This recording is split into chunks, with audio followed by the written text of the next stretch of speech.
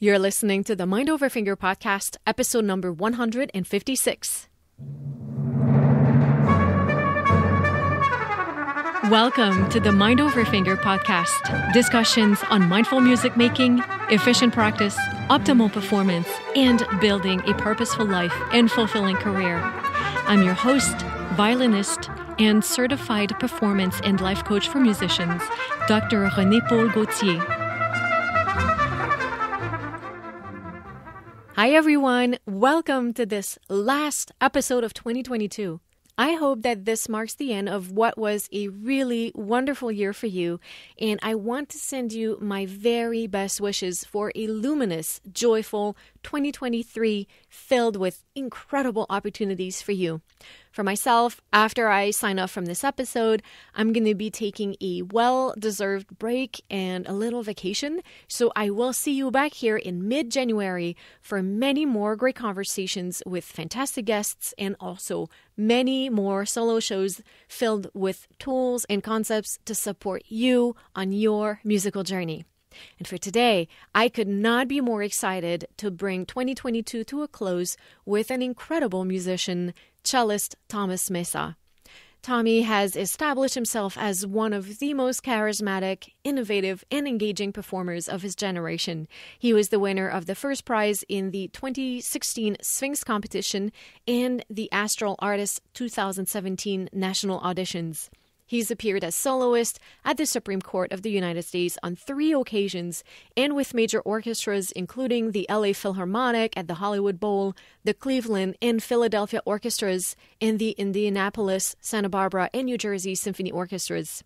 Highlights of the 22 23 and 23 24 seasons include many new commissions, premieres, and recording projects. Venues will include places such as Carnegie Hall, the Met Museum, Philadelphia Chamber Music Society, the Supreme Court, Colburn School of Music, Kohler Foundation, and many more. I can't wait to dive in and talk practicing, performing, and building a career with Tommy Mesa. But before we do that, I want to remind you guys that I have your success plan for 2023 available right now at mindoverfinger.com. Maybe you want to win an audition. Maybe you're working towards a big recital or a big world premiere. Maybe you're a teacher looking for a new approach to get your students to perform with confidence. Well, I have you covered with all of this. You're going to get a step by step detailed plan with all the systems, the methods, the mindsets, and the support to get you to accomplish those goals. Go to mindoverfinger.com today and join Practicing for Peak Performance, my online course where I have all of those things for you. You can expect to feel certain about your process, to learn your music better and faster, and to develop the ability to feel confident in performance and play your best. Your time is precious and you deserve to see massive results. In practicing for peak performance, I'm going to help you develop the kind of practice approach that will make that happen for you. 2023 is going to be your year. So don't wait and start experiencing these results right now. Go to mindoverfinger.com and join Practicing for Peak Performance today. And now, let's hear for Tommy. Let's go to the show.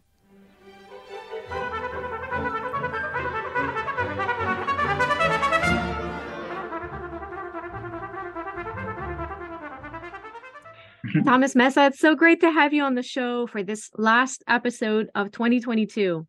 Glad to be here. This is great. Thanks for having me on. It's awesome. Tommy, let's hear all about you. You perform extensively as a soloist, a recording artist, chamber musician, and also as a member of the Sphinx Virtuosi. Please share with us how your artistic path has unfolded. Uh, yeah, I mean, you know, I I started fairly late on the cello. Um, this was like when I was 12 years old, and I think uh, it really all started with like listening to Jacqueline du Pré's recordings. I absolutely love her playing and still do. And like, there's just so much energy and passion. I think that was like really like the roots of what inspired me to to try and search for my own individual voice. And like, you know, I I can't say that I've ever like I enjoy playing in orchestra and I enjoy chamber music. Um, those are things I, I, really do enjoy, but I, I can't say I enjoy it as much as uh, sort of searching for what my own voice is um, in, you know, like a cello piano texture or cello with orchestra. Like I, I absolutely love that repertoire and I have since I was, you know, let's say 15 years old. And like I mean, I, I would obsessively listen to Jackie du Pré and of course Yo Yo Ma. And I mean, there were times when I was just trying to like imitate what they were doing at the expense of like building bad habits, right? Like I had no idea like how to make a vibrato. I just wanted to, I just wanted to do it. And I would always challenge myself to try to copy.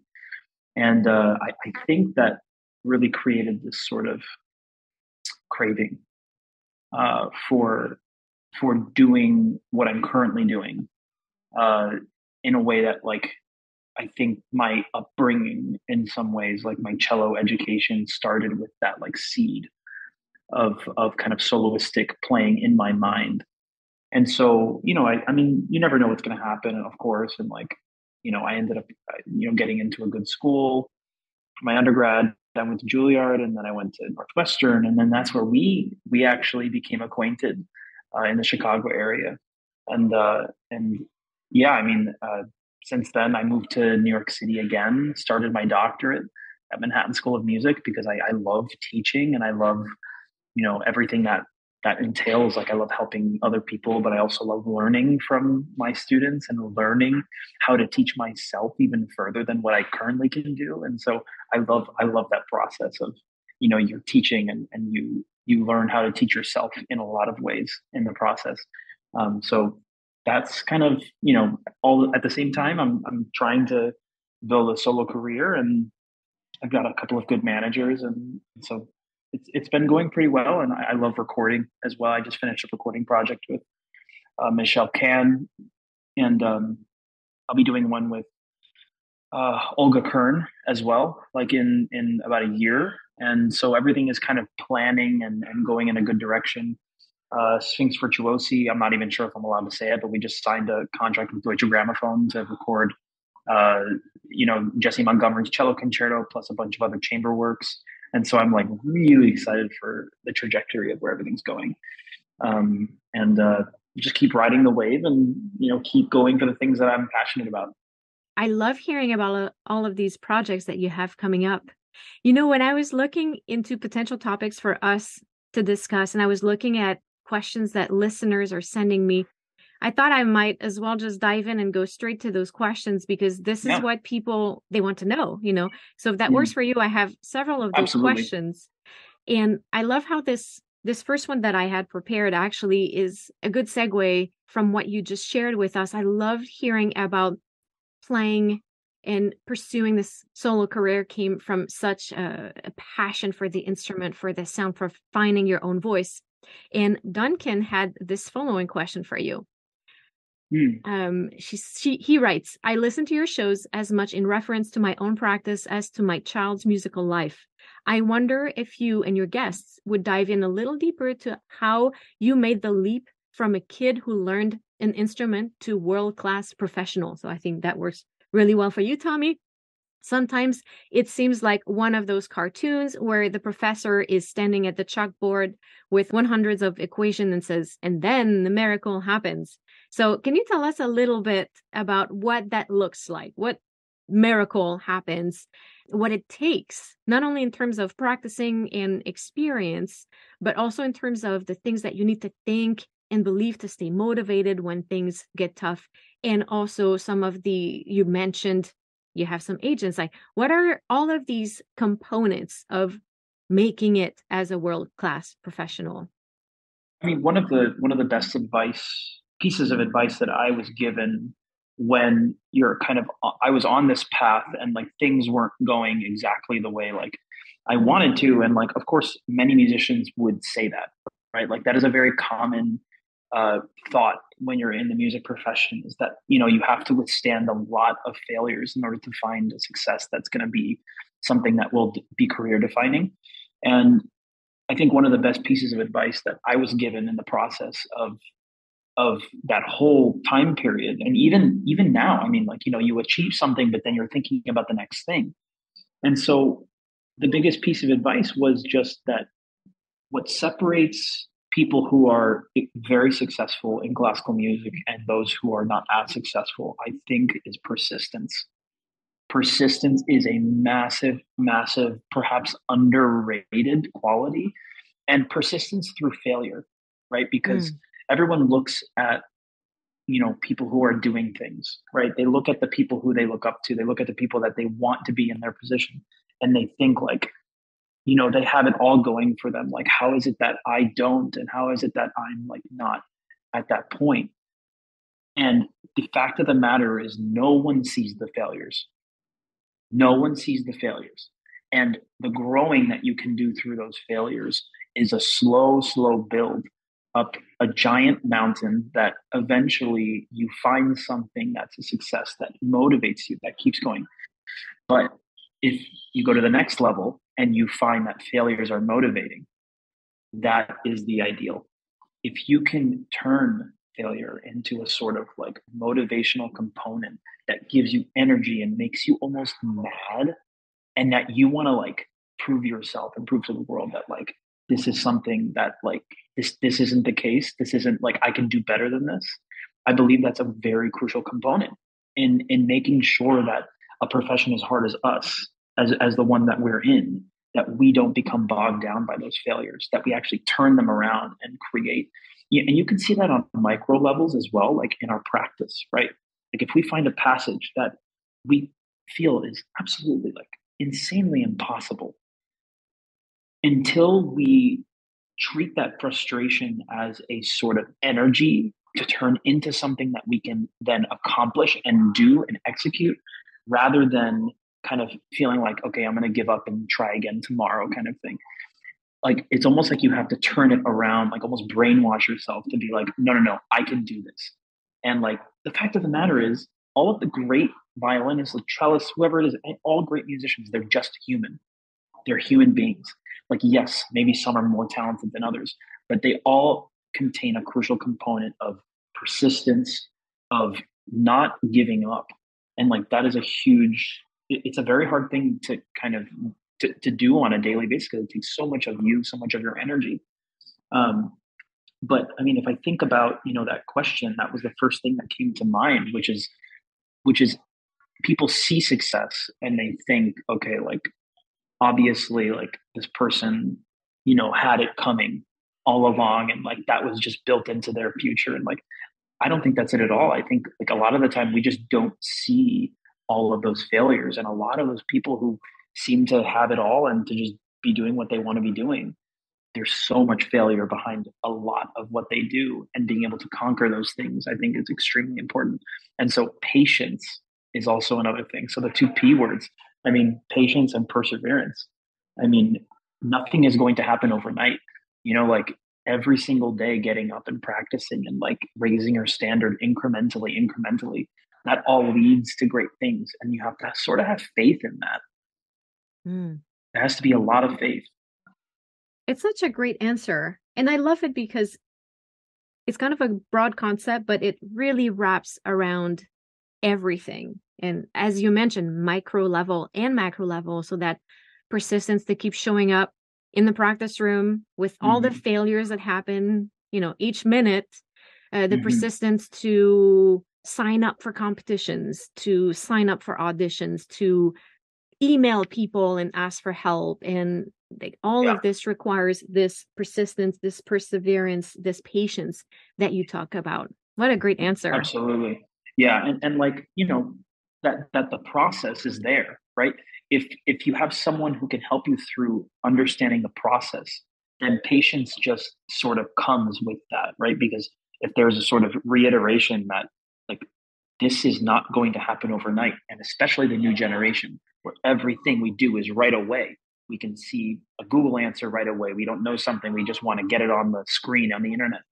That builds into our system a sort of impatience mm. that we aren't quite aware of sometimes. And so making sure that we're actually like maybe doing day to day things that require patience and then realizing that like playing a passage just doesn't happen like like you do when you find a Google answer.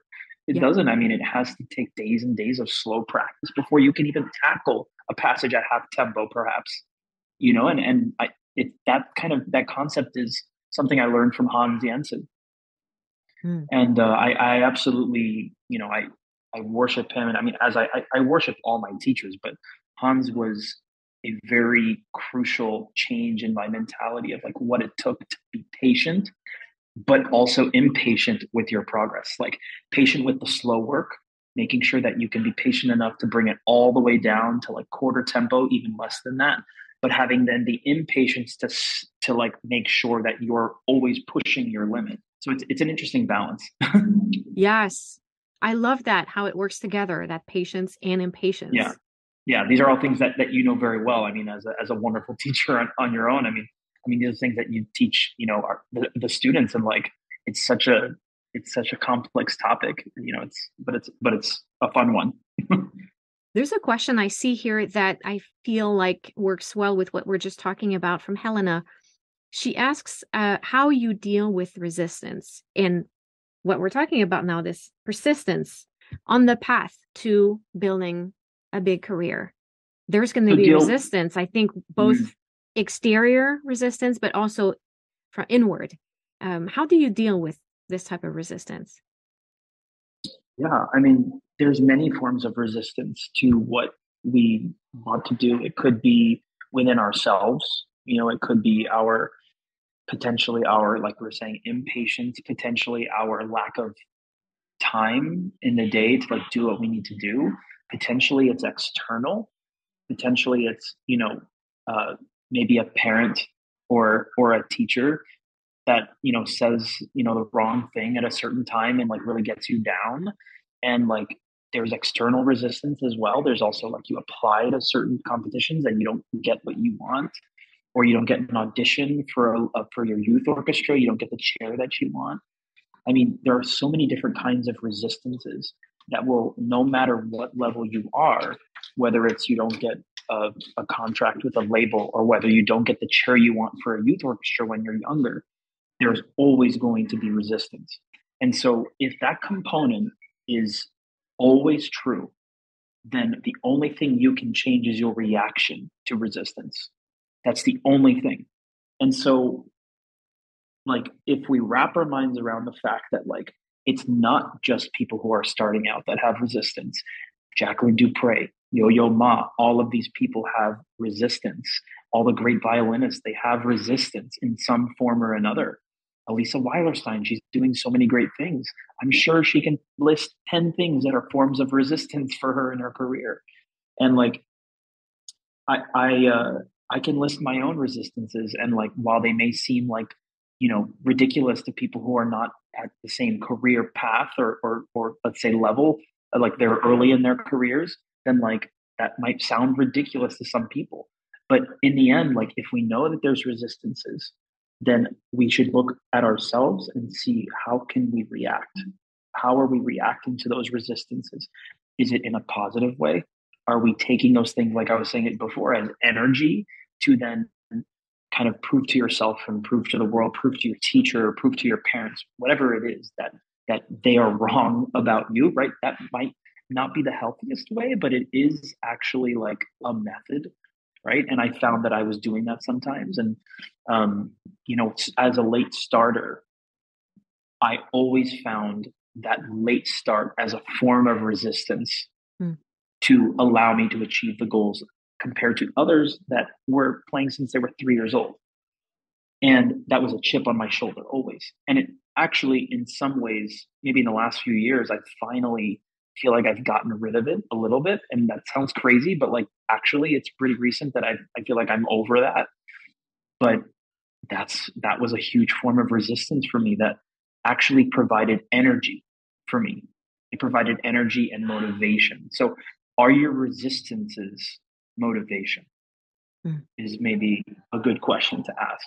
And if your resistances aren't motivation, then perhaps you know we, we can maybe try to get rid of resistances, right?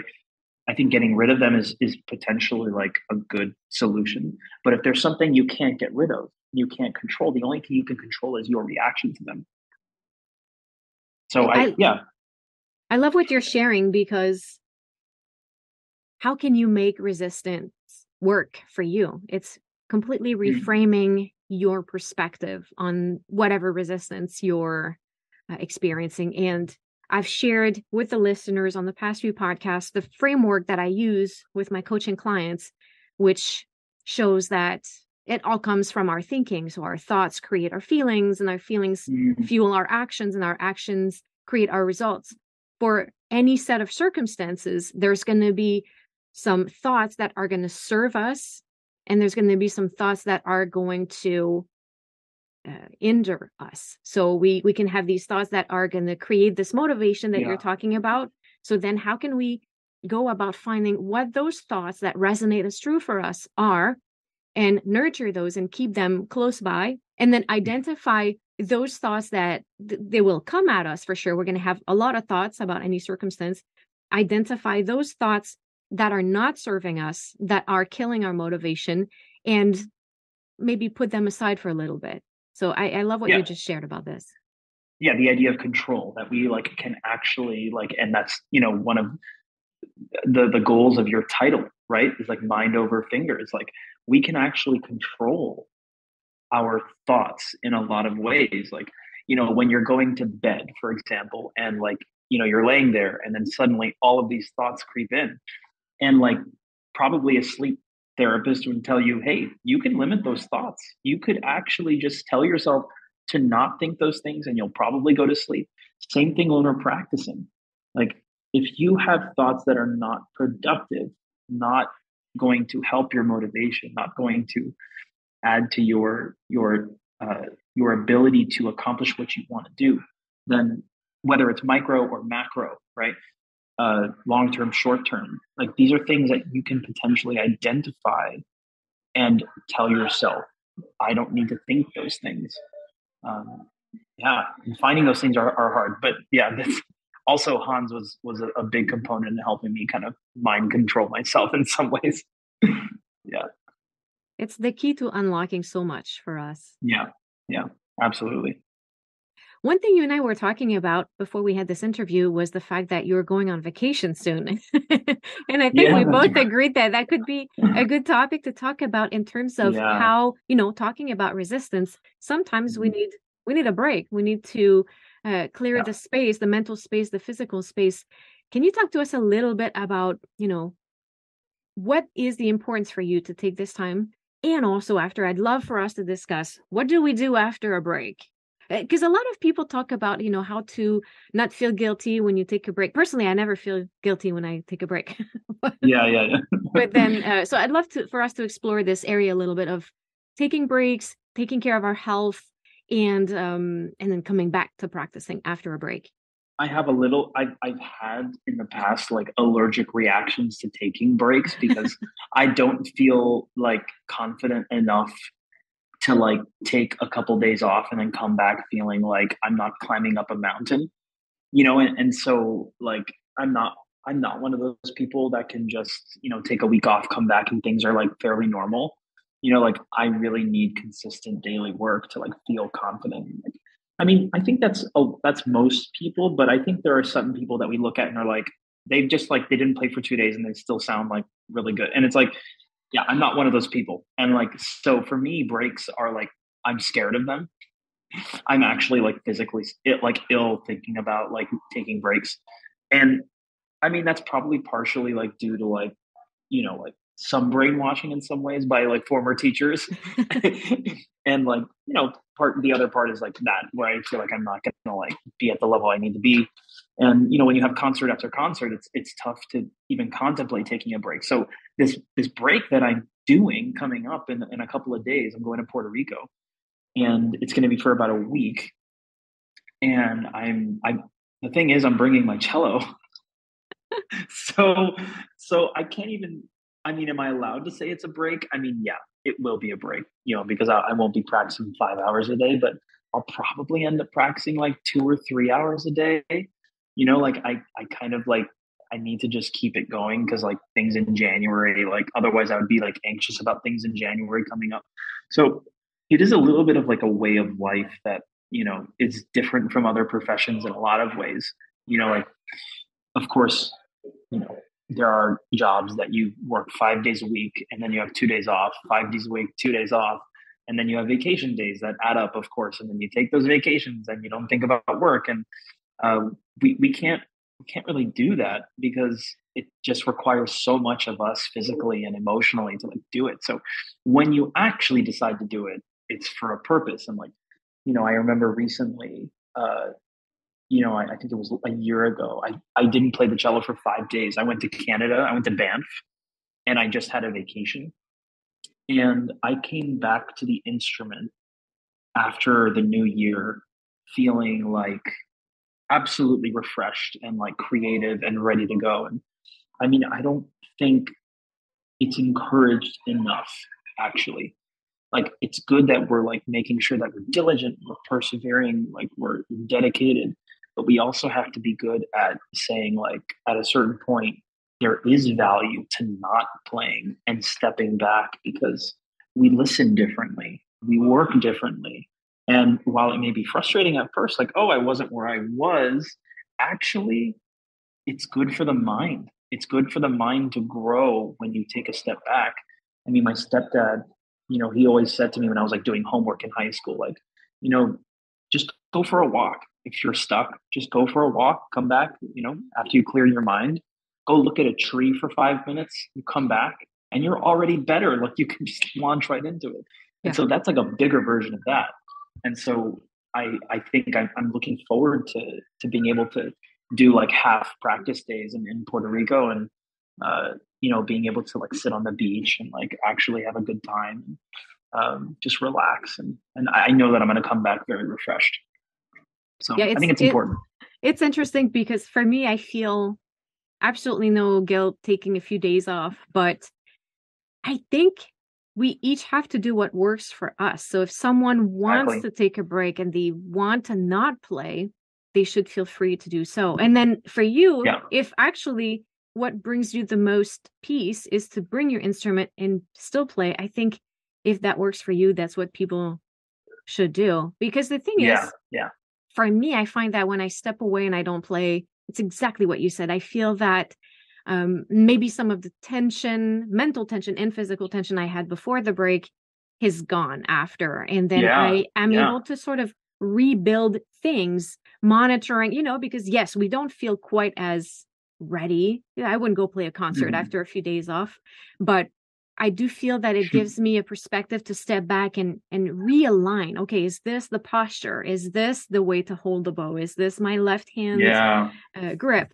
and um, so i enjoy that part of coming back to it with the perspective uh, that it gives me yeah. and i think that for it too is the, the what kind of plan i'm going to have when i get back how much time do i have between the break mm-hmm. and the next big gig and yeah. the sort of re-entry what does that look like for you yeah i mean you know going from you know not practicing that much to practicing a lot and like aiming for stuff it's really important to make sure that you're not just launching into suddenly you know five hour practice days after you know having a little bit of a break i mean quite literally like you know if, if you go to the gym you know you can't just go from you know r- running zero miles a day to running you know six miles a day.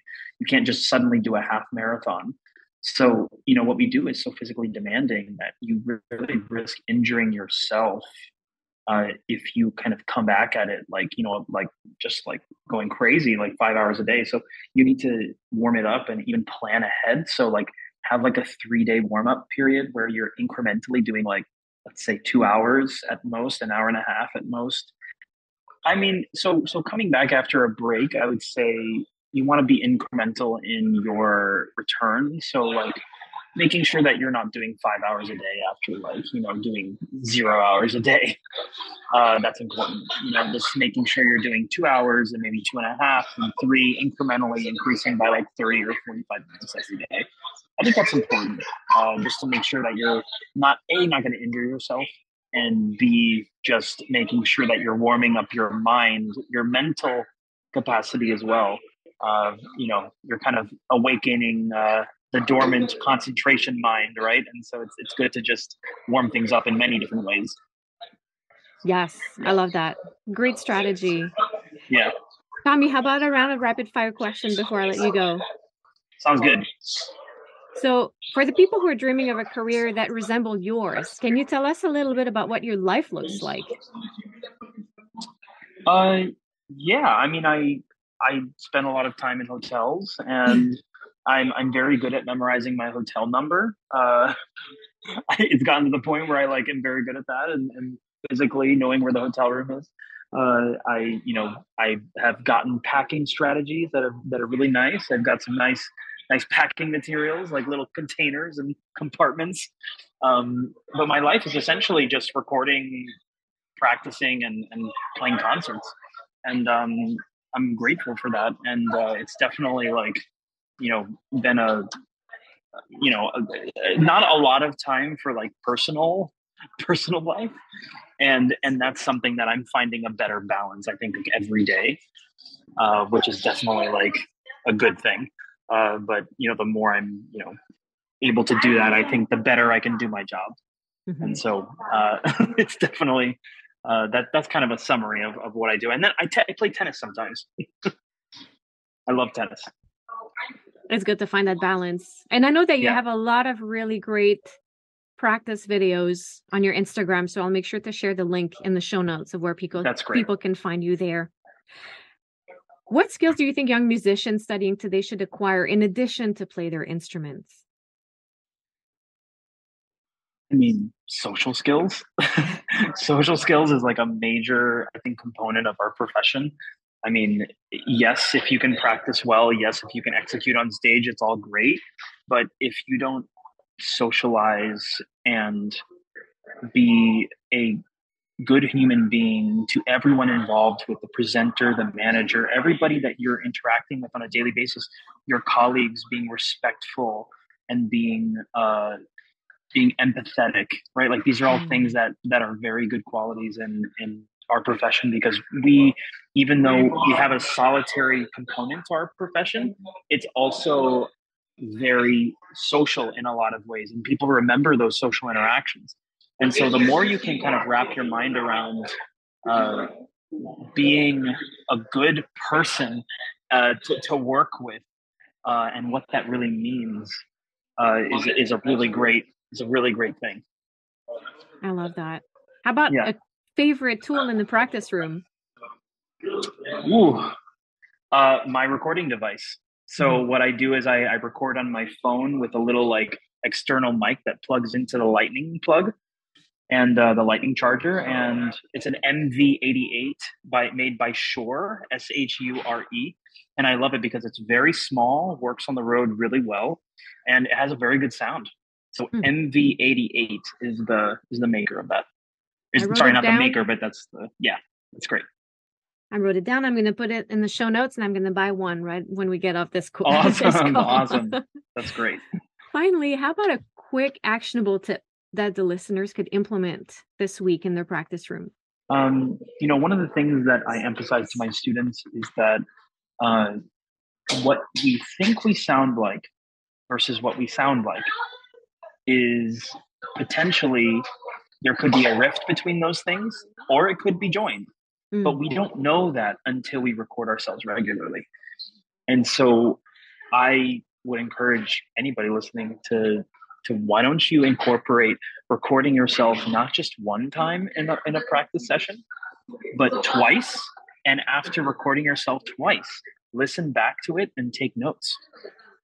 And that is one of the most useful things I've found in my practicing is once once I get used to recording myself and listening, and getting past the whole like oh my god i'm scared of listening to myself thing uh, then you start to develop a taste for what you want in your playing and look for that without your recording device mm. so you're essentially putting you're taking off your ear and putting it in the corner and being your own teacher which is a ton of skills that we need to do uh, to be in this profession so I, I i personally love recording and just improving through that I love this. This is so great.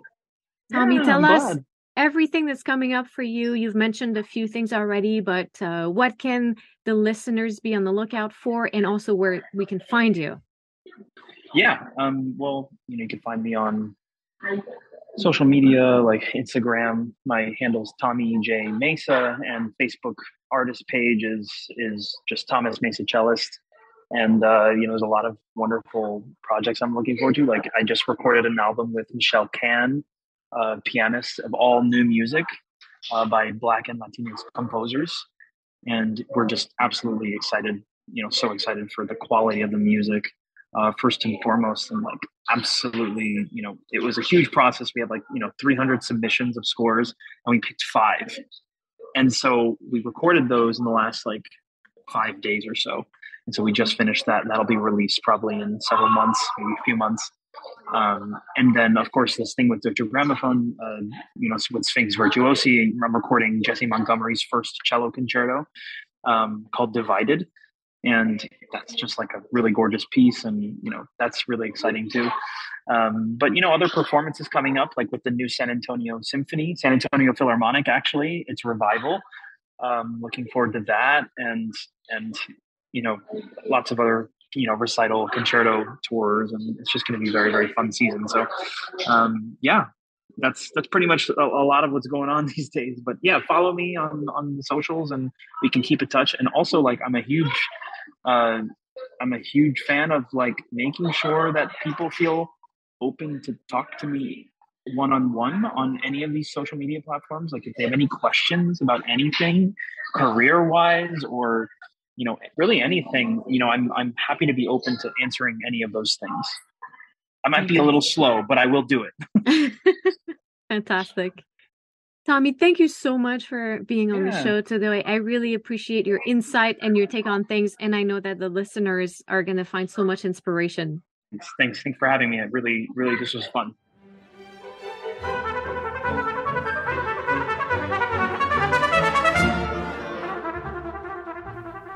Thank you guys so much for listening. I hope you enjoyed this episode of the Mind Over Finger podcast. If this content was helpful for you, please share with everyone you think could benefit from it. Take a screenshot, share on social media, and tag me. I'm Mind Over Finger everywhere. So reach out, send me a DM, and let me know how this content helped you. Let's keep the conversation going. As always, I have all the information related to this episode in the show notes. You can find them via your podcast app or by visiting mindoverfinger.com, where you can also find more free resources on efficient practice and performance preparation, links to sign up to my free workshops, and information on how to work with me. Don't forget to sign up for my newsletter to receive your free guide to a productive mindful practice transcripts from the Mind Over Finger podcast episodes delivered to your inbox every week, and more. Also, join the Mind Over Finger Facebook community, my private group, for access to my live videos and to exchange with a community of like minded musicians. So make sure you're subscribed to the podcast. And if you have specific questions for me or my guests that you would like answered in an episode, share them with me using the link in the show notes or send me a DM on Instagram or Facebook. That's it for today. Again, thank you and à bientôt.